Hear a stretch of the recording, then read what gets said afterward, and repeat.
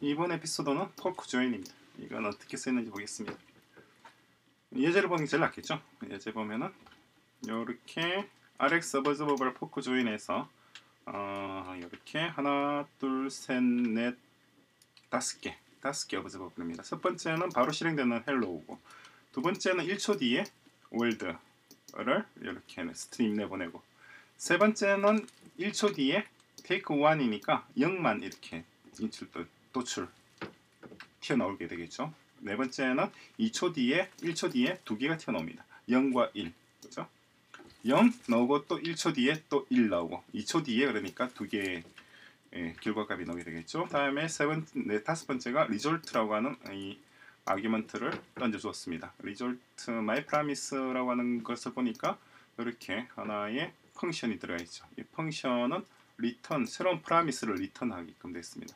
이 promise 내용을 보니까 set timeout이에요. 5초 뒤에 자동으로 이게 실행되도록 구성되어 있습니다. 그래서 어, resolve에서 요 값을 return 해주는 것이 어, 요, 요 promise 역할입니다. 그죠?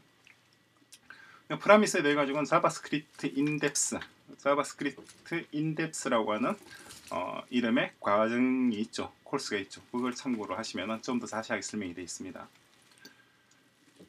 그래서 결과적으로 이제 이 forkJoin은 이 다섯 개가 다 준비되면은 준비되면은 각각의 stream에서 제일 마지막에 있는 값을 어, 골라서 하나의 array를 만들어냅니다. 여기서 hello를 받고 얘는 world를 받고 여기는 제로를 받고 여기는 제로 1 중에서 1을 받고 그리고 여기서는 result를 받는 거죠. 그러니까 이것을 다 취합하는 시점은 제일 마지막에 나오는 요 녀석이 나오는 시점입니다. 그러니까 5초 뒤에 여기 이렇게 구성돼서 튀어나옵니다. 위에 JSB인 돌리도록 되어 있으니까 한번 돌려보시기 바랍니다. 두 번째 예제를 볼까요? 두 번째 예제는 마찬가지 어, RX 어버저버블 해서 어, 이렇게 1, 2, 3, 4, 5 다섯 개의 숫자로 구성되어 있는 어레이 그리고 이 녀석을 어, 멀지 맵하고 있는데 멀지 맵에 대해서는 이어지는 에피소드에서도 설명합니다. 어, 일단 합쳐준다고 생각하시면 됩니다. merge가 합치는 거니까. 그래서 Q, 소스 여기죠. 1이 처음에 Q로 들어가고 두 번째 2가 들어가고 다음에 3이 들어가고 이렇게 되겠죠. 그래서 요 forkJoin에서 요 Q와 요 my promise 요 녀석을 두 개를 합치는 거죠. 그죠? 그럼 1과 요 녀석이 합쳐지고 어, 여기 합쳐지고 2와 여기 합쳐지고 또 3과 여기 합쳐지고 그래서 그런 결과가 이제 튀어나오게 되는 것이 요겁니다. 지금 이거는 이거 rest parameter, rest argument로 되어 있는데 이건 뭐 굳이 rest를 쓸 필요 없습니다. 어차피 들어가는 거 하나만 들어가니까. 그죠? 점 세 개를 빼더라도 동일하게 동작을 할 겁니다. 그래서 결과적으로 이렇게 5초 뒤에 어, 5초 뒤에 여기 다섯 개가 동시에 튀어나오게 됩니다. 그렇죠?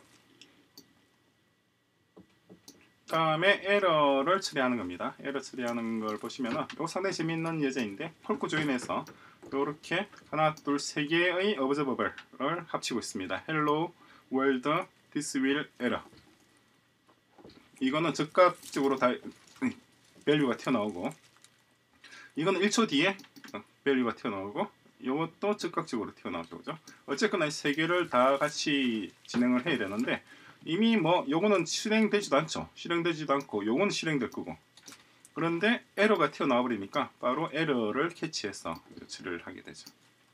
그죠? console log 하면은 에러, this will error라고 하는 것이 튀어나오게 될 겁니다. 그게 여기 있는 이렇게 되어 있기 때문에 그렇죠. 요 세 개를 forkJoin을 하기 때문에 그러는데 그렇지 않고 밑에 예제처럼 이렇게 네 개를 이렇게 forkJoin 해놓게 되면 어떻게 될까요? hello, world, error 아, 세 개, 세 개를 하는데 어, catchError가 아예 이 forkJoin 속에 들어가 있는 거죠. 그죠? 그러면은 그렇게 되면은 얘가 수행될 거고 그리고 얘는 얘들대로 값이 나올 거고 얘는 얘대로 에러가 나와서 세 개의 stream의 최종값 hello와 world와 그리고 요 will error라고 하는 거 그죠? 요거까지 해서 어, 세 개가 나란히 구성되어 있는 것이 튀어나오게 됩니다. 요게 forkJoin입니다.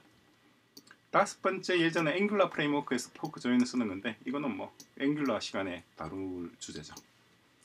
어, 어디셔널 리소스에서 폴크 조인이 있는데 이게 뭐 별다른 내용이 없습니다. 그냥 방금 제가 설명드린 내용이 다입니다.